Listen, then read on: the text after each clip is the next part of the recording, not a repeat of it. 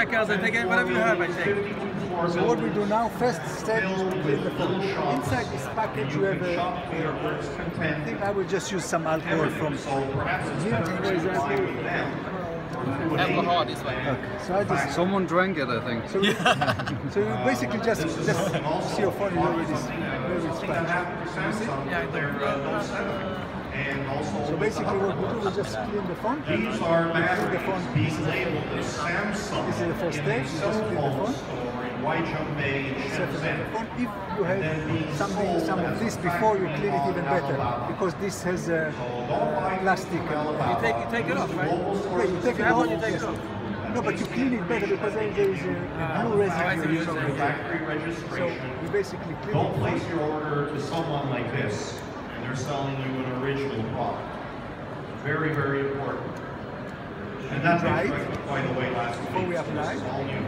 I linked Alabama to the store, the store to these guys, and they caught them putting Samsung. Inside this on bottle batteries. what you have inside here.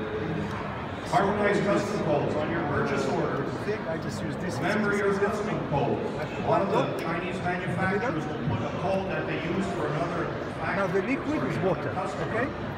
Inside the water we have nanoparticles, titanium, uh, liquid silicone, which is glass, uh, silver and other parts, okay? Now when I Word the liquid over the phone, there is a force in physics called Van der Waal that pulls the nanoparticles inside the molecular infrastructure of the glass. Radios. It turns the glass into Gift, nine, nine Everything was inch sent hardness. back to me. In addition to this, because the also documents the surface of the glass. So if we look at the glass with a magnifying glass, like the moon, not like this. 8610.00, whatever the But basically, the nanoparticles filling this glass it much smoother and the light travels in much uh, straighter light, uh, line, and therefore the vividness of the screen becomes uh, better, the quality of the pictures that you take from the It's camera become better for before you put the lens quality.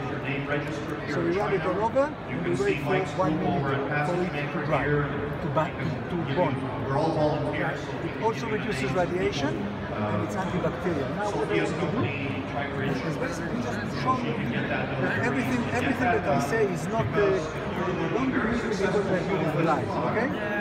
Um, everything that we say is supported by independent third-party verification, okay? We mainly use SGS as our, in a way, uh, verifier. So I said that it's uh, 9H in hardness.